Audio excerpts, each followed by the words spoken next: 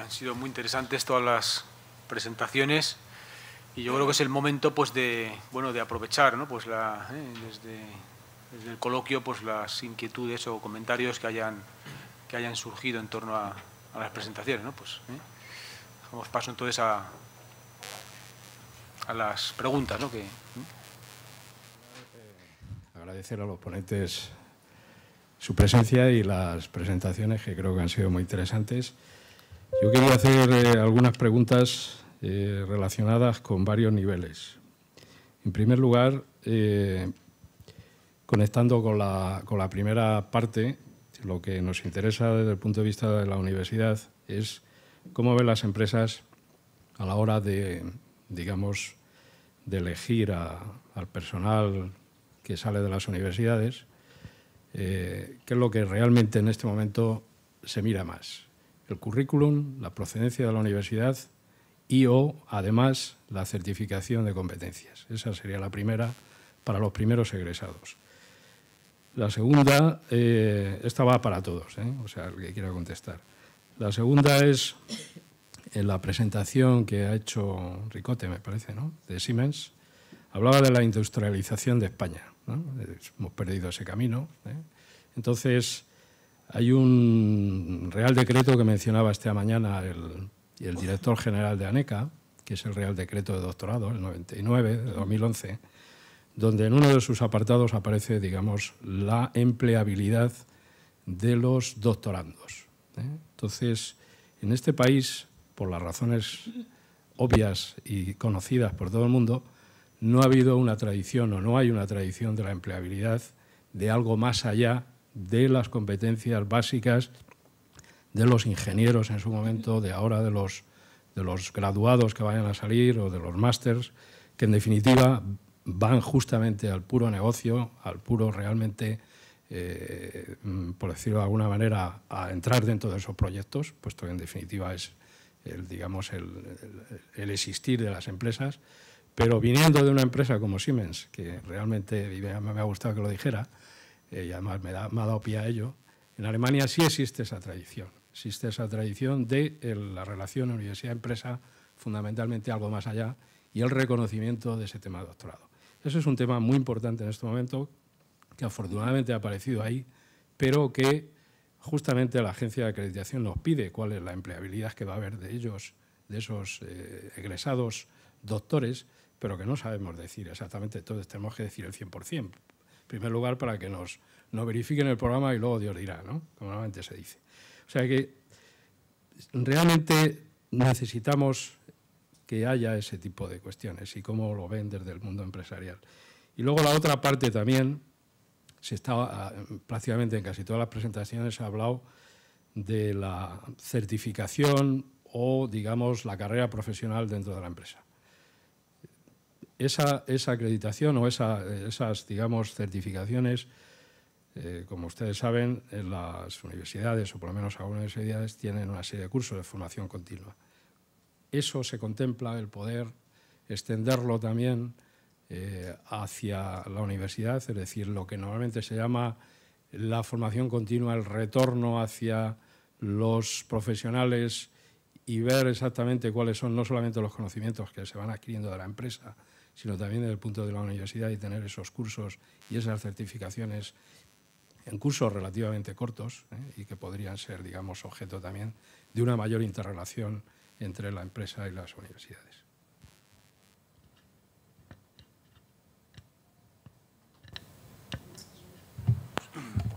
Como por alusiones, en cuanto a la parte del doctorado, yo, yo tengo un, afortunadamente he tenido que trabajar mis primeros años mucho con, los colegas de Alemania y hay una diferenciación clara entre una persona que está doctorada o no. De momento ya en, la tarjeta de Siemens pone doctor y el nombre, cosa que en España es poco habitual. Yo personalmente sí le doy importancia. En otros, en los países que nosotros o que yo estoy gestionando dentro del clúster, quitando Francia, Bélgica, Suiza, que sí se le da una importancia, mm, el resto de los países yo creo que es un problema de, cultura latina, que no le hemos dado la importancia necesaria. Pero yo creo que sí es yo particularmente, con las, el proceso de selecciones que hemos tenido, sí es un valor añadido el que una persona tenga un doctorado, porque haya preparado una, haya dedicado una serie de sus años a investigar, a desarrollar. No lo comenté en mi presentación. Eh, Siemens, aparte de un enfoque de macro tendencias, es principalmente una empresa que gasta mucho dinero en I más D más I. 5% de nuestras ventas, 5, se dedica a I más D I. Hoy el día empieza a las 8 de la mañana, termina a las 5. Bueno, estuviéramos en Alemania un pelín antes y terminamos antes. Siemens hoy ha hecho 40 inventos, que muchos se comercializan, otros no. Y por eso nosotros sí que damos la importancia del doctorado, la innovación, etcétera. Eh, en España, lamentablemente, no hay una cultura de, darle esa importancia, pero abrimos vías. Yo, desde luego, sí que es una a las personas, o cuando hemos tenido necesidad de contratar a las personas, tener un doctorado sí lo hemos dado importancia. Y, y contesto a otra de las, preguntas. Eh, ¿Formación adicional que podríamos ver útil en carreras? técnicas o no técnicas de ingeniería, etcétera, yo diría gestión de contratos, nociones mínimas de un contrato. Eh, eh, un proyecto se basa en contratos. Un contrato te va a marcar lo que tienes que hacer, en qué plazo, con qué riesgos. Gestión de riesgos. He tenido la oportunidad, alguna vez me han invitado a la escuela de, industriales a dar alguna ponencia, alumnos de último año o de último año para varias empresas hacerlo atractivo. He tenido la oportunidad de hacer un caso de riesgos eh, para mí ha sido la primera vez, o, muchas de las personas con lo que hicimos, que, han hecho un caso de riesgos, riesgos reales que te vas a encontrar en un proyecto. Entonces yo apostaría por ese tipo de formación modular, que no tiene que ser muy intensiva, dos, tres días, pero que luego las empresas las valoramos, porque eh, al final vas a tener que gestionar riesgos. Y personas. Y quizás esto lo aporto a, los, a, la, a la parte eh, ingenieros. Ingenieros necesitan muchas veces tener un, mayor componente de gestión de personas, de comunicación, de relacionarse, de gestión de equipos, etcétera. Creo que esas habilidades soft nosotros las vemos a veces carentes y tienen que aprenderlo luego en su carrera profesional. Yo diría que eso serían las tres áreas que yo propondría de, de mejora, es personas, comunicación, liderazgo, por un lado, gestión de riesgos y gestión de contratos. No sé si he respondido las preguntas. ¿Qué se mira más? ¿Qué miráis más el tema de, a la hora de la selección? Eh, en cuanto a la selección, eh, la certificación sí la consideramos. De hecho, eh, las personas que vengan con una certificación interna las homologamos directamente como con la misma que la interna. Es decir, si hay una persona certificada en ITMA con nivel C o por PMI dentro de PMP, estas personas han demostrado ya un conocimiento y unas competencias, por lo tanto, internamente no necesitamos revaluarlas. Entonces, sí que lo miramos.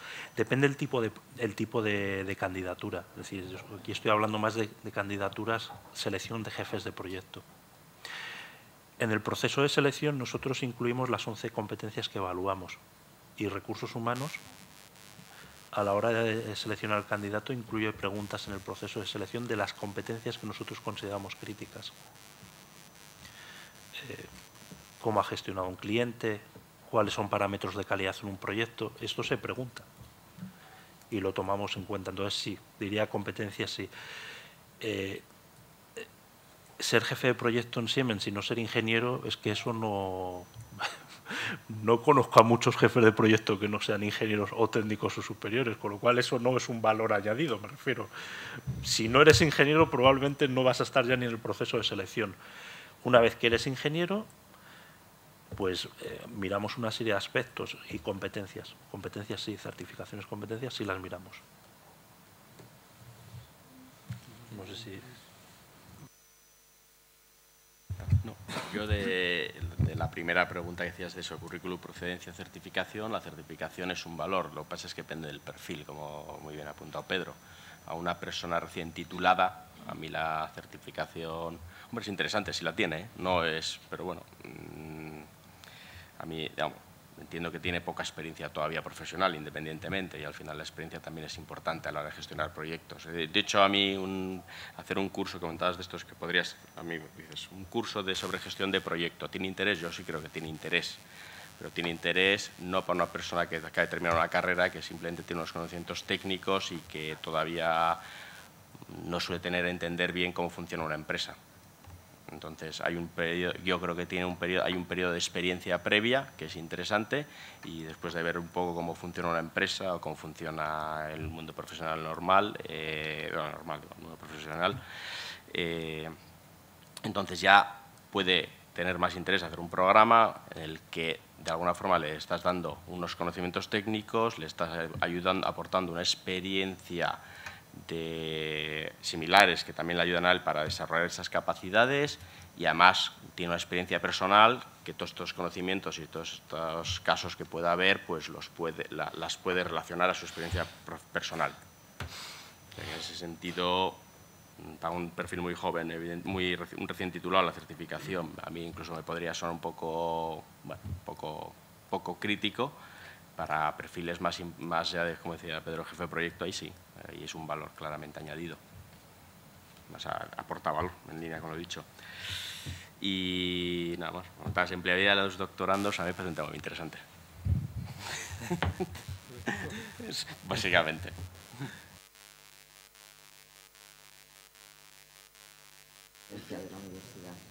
Porque ahora, ahora competimos mucho con los vecinos. y,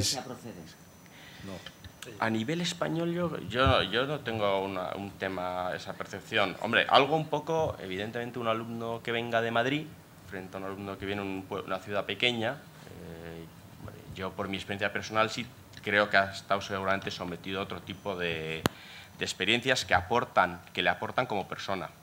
Al final no es lo mismo pasarse cinco años en Madrid de estudiante que pasarse cinco años de estudiante en Salamanca. Y con esto no tengo nada contra Salamanca, pero vamos, eh, evidentemente eh, la experiencia es distinta.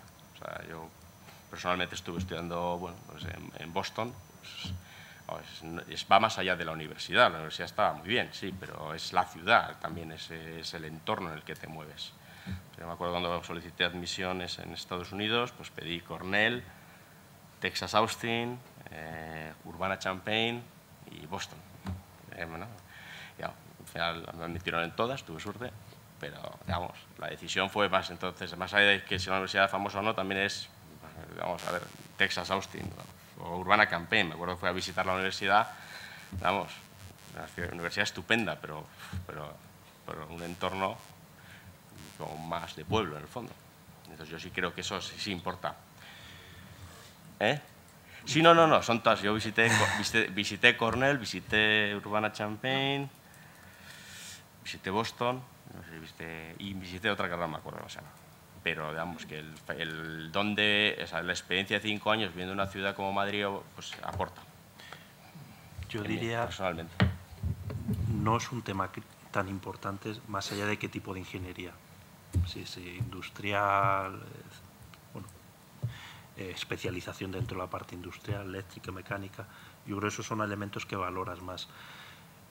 También dependiendo de donde tengas la actividad, pues puedes tener más afinidades hacia unas universidades o otras. Nosotros que tenemos presencia local en muchos puntos, las áreas más grandes son Madrid y Barcelona, con lo cual son probablemente cuando tenemos más relaciones con las universidades pero yo diría más bien por el tipo de, decir, el tipo de ingeniería, ingeniería que, o ingeniero que contratamos más suele ser ingeniero industrial, por el tipo de actividad que tenemos. En el pasado, cuando teníamos el área de telecomunicaciones, pues podíamos también tener ingenierías de telecomunicaciones, pero no creo que, que lleguemos a entrar en discernir si es una persona que se ha formado en Barcelona, en Zaragoza o en Madrid. No creo, ¿eh? Mi, punto de vista, porque eh, en los últimos años hemos tenido mucha experiencia en selección. Nosotros también hacemos la selección del personal que se incorpora a las centrales nucleares. Entonces, la pregunta de Emilio es difícil de responder porque el currículum, la procedencia y las competencias son justamente las tres áreas que se miden eh, para hacer la selección.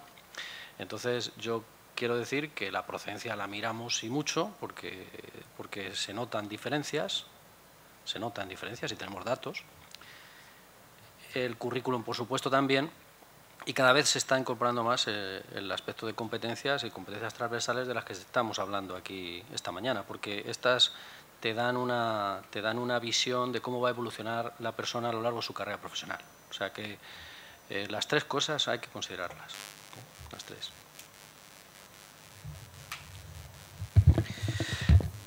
Yo añadir uh, básicamente para lo primero desde la empleabilidad que se mira más desde un punto de vista mundial, uh, pues uh, como han dicho anteriormente, la procedencia en España de las ingenierías desgraciadamente salvo para casos muy, muy excepcionales, está poco mirada, cosa que, por ejemplo, en, Estados Unidos es fundamental. Es decir, si quieres ser alguien, al revés, un agrónomo no se va a Boston, se va a Urbana-Champaign, ¿no? depende, ¿eh? depende de, de, tu especialidad y ese es tu reconocimiento. ¿no? Ah, el, ah, el, currículum desde la empleabilidad fundamental. ¿eh? Fundamental. qué es lo que has hecho, cómo te has formado, eh, eso es lo que más mira el, el, empleador, mucho más que incluso que el origen de tu capacitación. Y la certificación base, pues se empieza a demandar, pero a un empleador, si no tienes experiencia, la certificación es lo último que, si no tienes experiencia. Otra cosa es que cada vez se solicite más porque se entiende que ese es un bagaje adicional que el recién egresado ah, incorpora porque hay que hablarle menos de qué significa desarrollo competencial. Desde el punto de vista de la empleabilidad de doctores, pues otra vez es que somos como el filósofo, nosotros y, nuestras circunstancias, y es difícil que nos salvemos porque somos hijos de nuestras circunstancias. Ah, en Estados Unidos, si quieres ser alguien, si no eres un, doctor, poco recorrido tienes. ¿eh?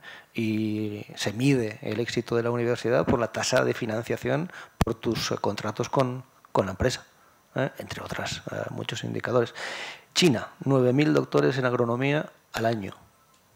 Si quieres ser alguien en una empresa relacionada con el ramo agroalimentario, biotecnológico, alimentación, tienes que ser doctor, si no, no puedes gestionar. Es, es, otro contexto. Y algo que sí que me preocupa y me afecta directamente eh, a nivel institucional, y usted comentó, lo que yo llamo es el flujo de la competencia inversa, de la retroalimentación hacia la universidad. Pues esa es una de mis obsesiones. ¿Eh? Es un proyecto que tengo en marcha que se llama Train of Trainers, educación de educadores, ah, para conseguir lanzar otro producto que es la acreditación de universidades desde un punto de vista de qué personal educativo le podemos reconocer que está educando en competencias, por competencias. Y el primer paso es el actual sistema de registro educativo de programas donde contemplan nuestros estándares. Los 46 elementos de competencia. Mire usted, ábrase, yo no le voy a decir cuál tiene que ser su uh, currícula académica, pero dígame usted estos elementos de competencia en las distintas materias, dónde los trata, cómo los trata, qué extensión, qué profesores lo aplican y presénteme evidencias objetivas, porque le voy a validar y le voy a dar una retroalimentación. Y voy a hablar con el alumno y voy a hablar con el profesor. Y voy a estar presente. Entonces ese es el feedback de la retroalimentación del flujo de la competencia inversa. Yo creo que es fundamental, porque es, difícil pedirle luego a un recién egresado o a, o a un titulado que, que eh, hable de competencia si, si, no le han explicado bien qué significa el desarrollo de la competencia. Creo que es crítica esa retroalimentación y la medición de esa retroalimentación.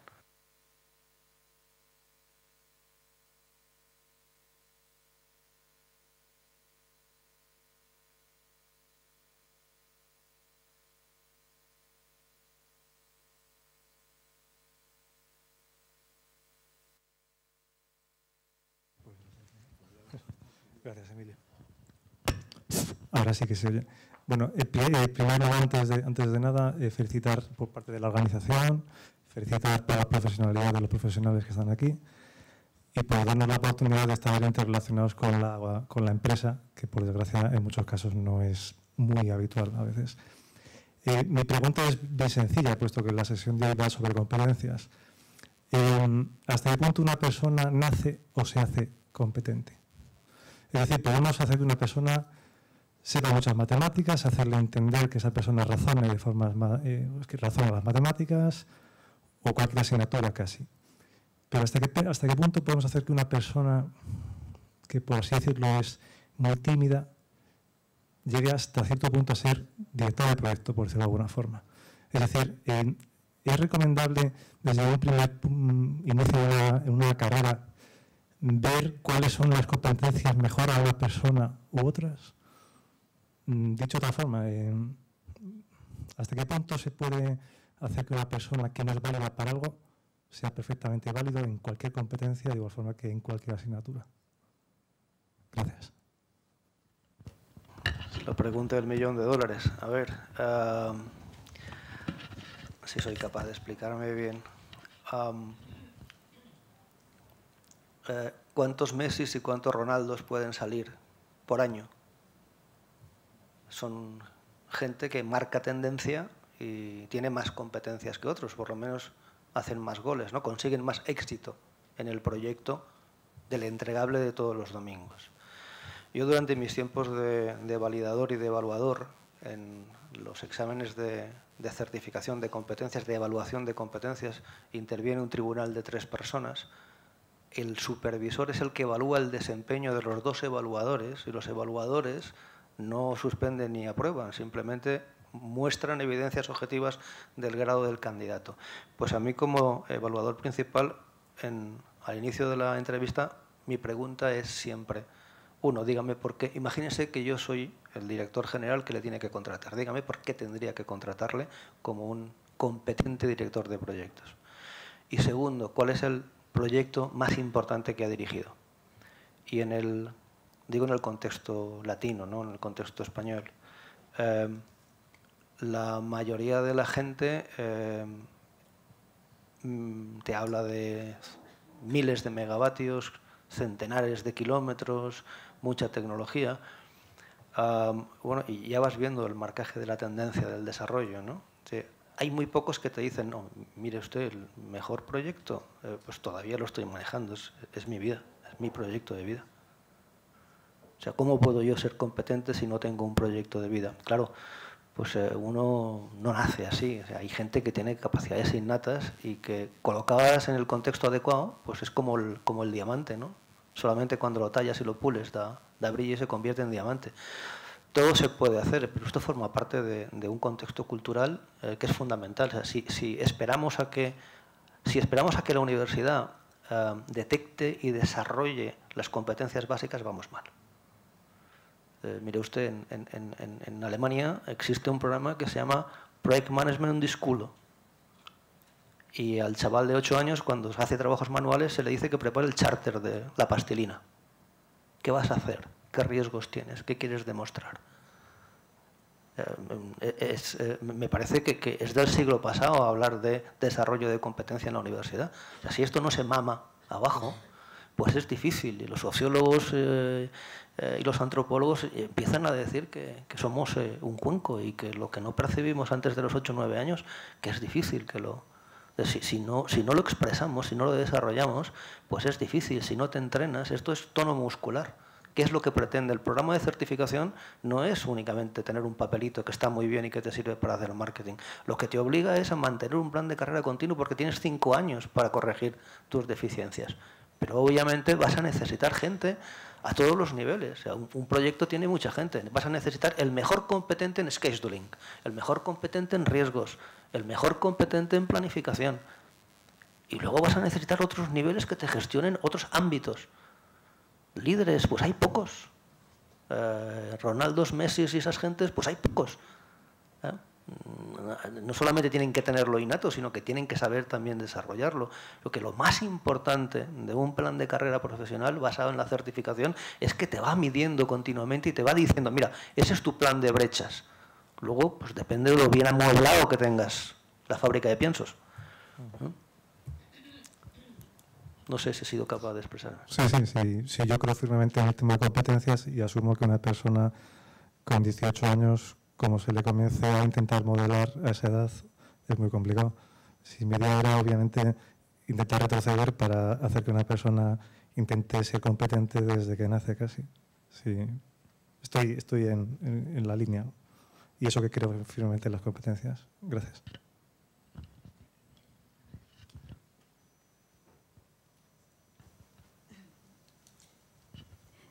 Gracias.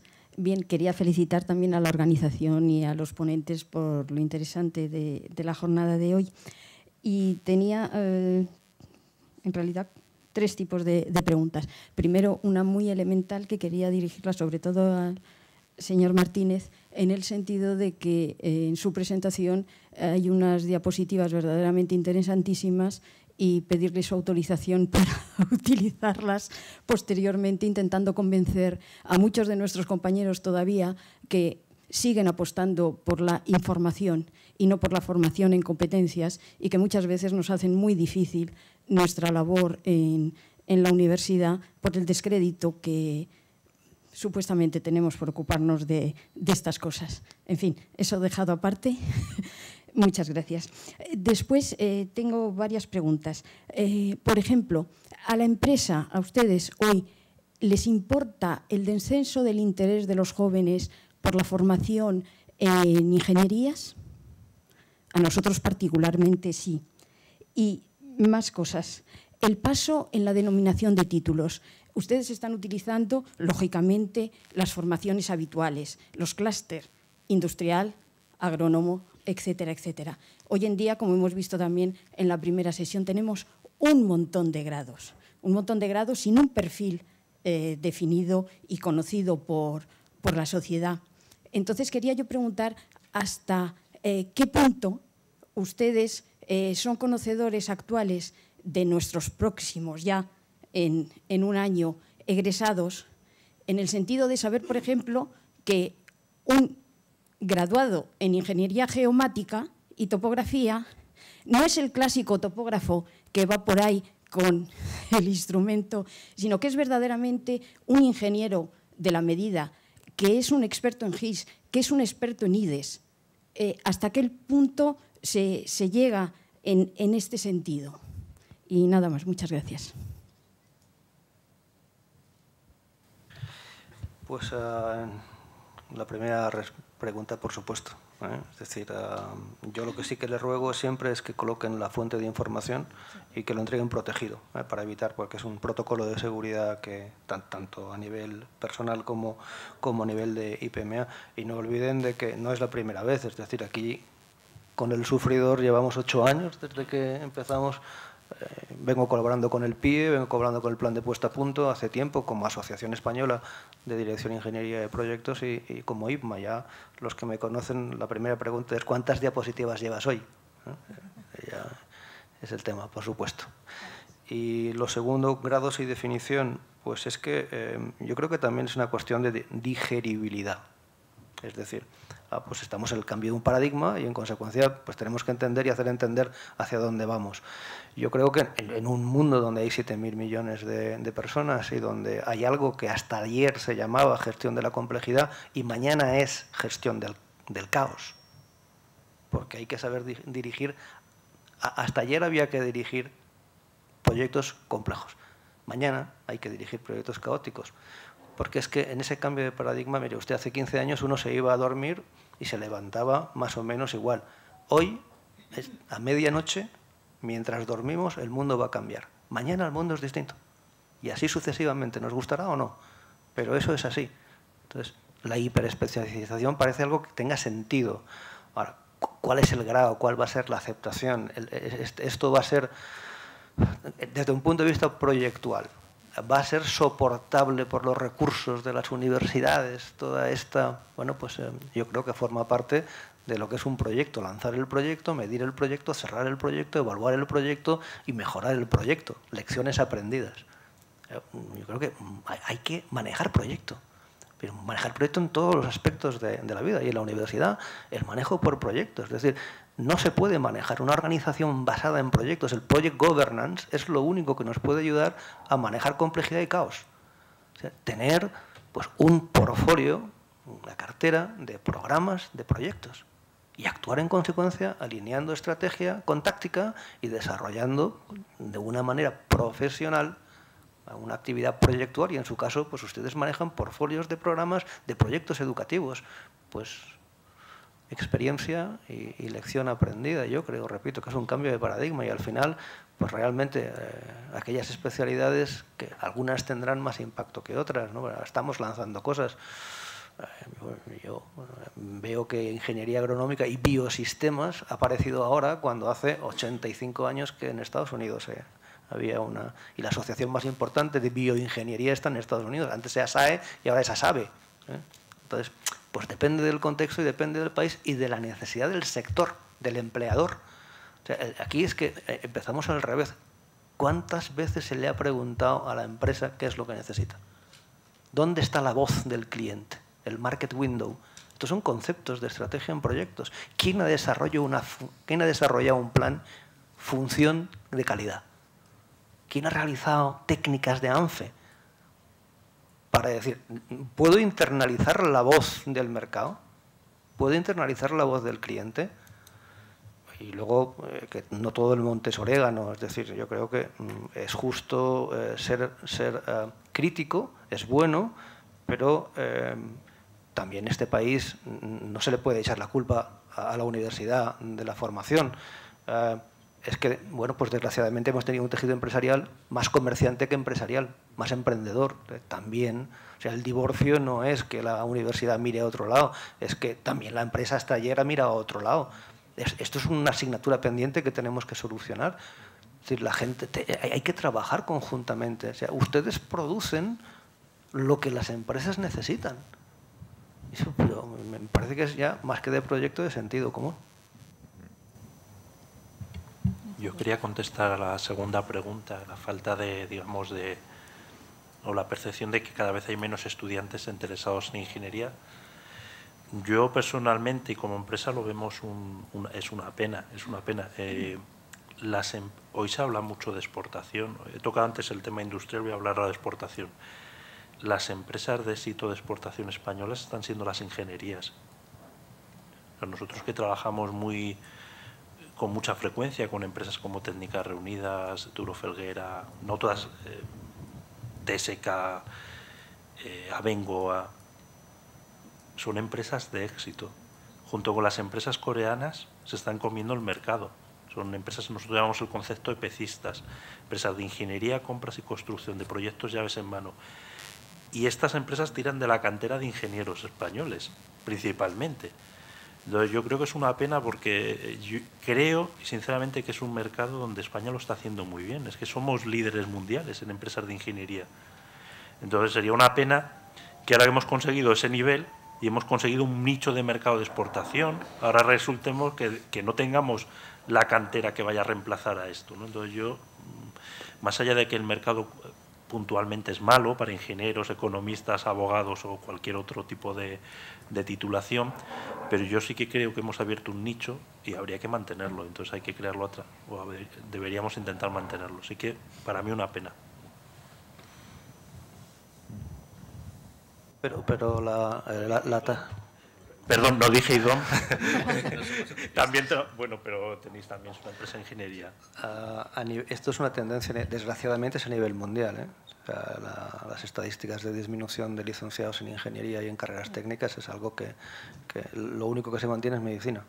A ver, lo, que, lo que son carreras técnicas eh, y está relacionado con, con la desaparición de algo que era fundamental y es la cultura del esfuerzo.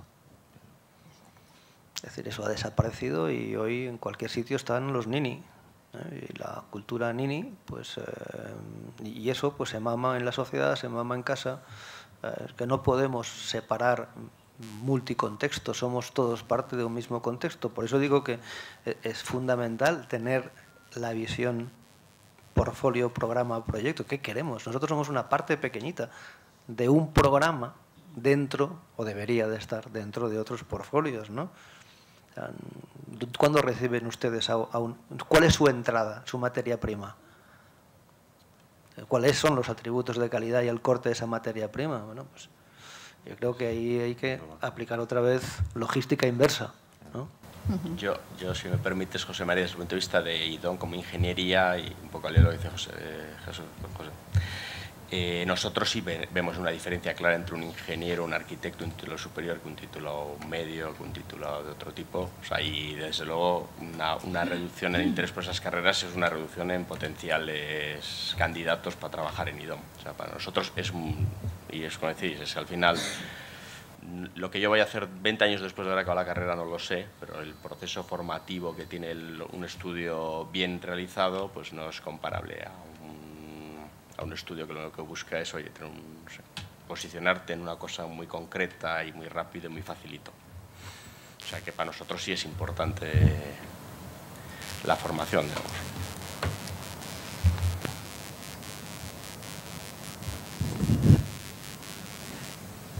Tenemos nueve minutos para terminar en punto. Si hay alguna pregunta más, comentario.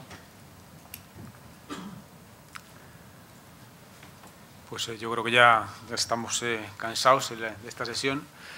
No, yo creo que me parece que ha habido un, hilo desde distintos puntos de vista, distintas organizaciones, pero ha habido un hilo se habrán dado cuenta, conductor o de una base común. ¿eh? Yo creo que efectivamente el, tema de, los conocimientos, ¿eh? las habilidades, es importante, que los podríamos poner como en un paréntesis, ¿eh? conocimientos más habilidades, pero luego está ese factor que multiplica, ¿no? de las actitudes, que de alguna forma pues, se han ido presentando y que de alguna forma pues, le dan desde distintos puntos de vista una, una, una, importancia cada vez mayor y que de alguna forma pues es, es un coeficiente que puede ser mayor o menor que uno y que de alguna forma, pues eh, a lo mejor esa falta de ingenieros eh, pues, eh, hace que esos ingenieros que tengan un coeficiente menor en las actitudes, pues estén con un grado de empleabilidad menor. Y a veces esa falta de cultura del esfuerzo, pues efectivamente hace que, que estemos, yo vengo de Canarias y, y, bueno, ayer te encuentras un, un gran empresario sin formación, que a su cargo tiene 90 trabajadores directos, 300 trabajadores indirectos y, por supuesto, muchos de los personas, directores de proyectos, pues son, son ingenieros, pero otros no. Pero el que hace cabeza es un empresario que ha desarrollado ¿eh? una capacidad de emprendimiento que a lo mejor, efectivamente, pues... Eh, bueno, pues tiene su importancia, lógicamente. Yo creo que, que, desde la mesa, desde la jornada, pues me parece que es un tema que nace o se hace, pero que tenemos que hacer algo porque creo que las personas mejoramos, creo que las competencias y también en algunos talleres hay investigaciones donde las competencias se desarrollan, igual que uno pues, desarrolla pues, eh, la capacidad para aprender un idioma, tendrá, tendrá unas mayores habilidades, pero de alguna forma pues, el, idioma se termina aprendiendo. Yo creo que, que hay que jugar en ese, en ese, en ese doble de sentido. ¿no?